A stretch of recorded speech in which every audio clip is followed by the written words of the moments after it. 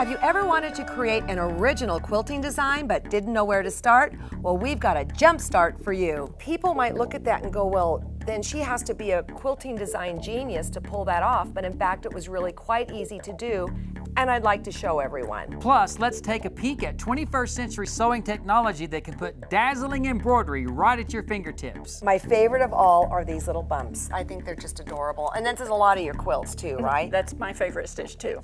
Right on.